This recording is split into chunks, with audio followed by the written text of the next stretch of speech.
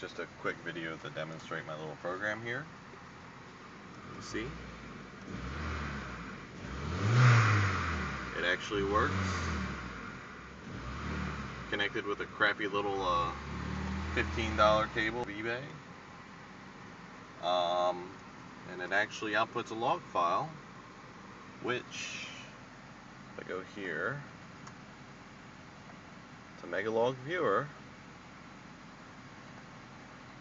you can actually use the trail live file option.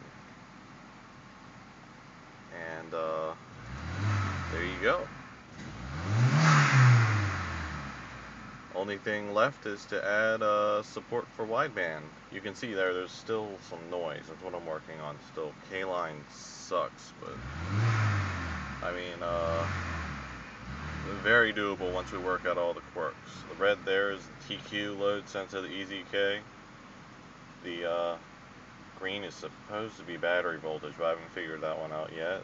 The uh, purple there is the coolant temperature. It says 82 Celsius. I don't know if that's right or not. And um, the blue here is the calculated load from the EZK. Vroom.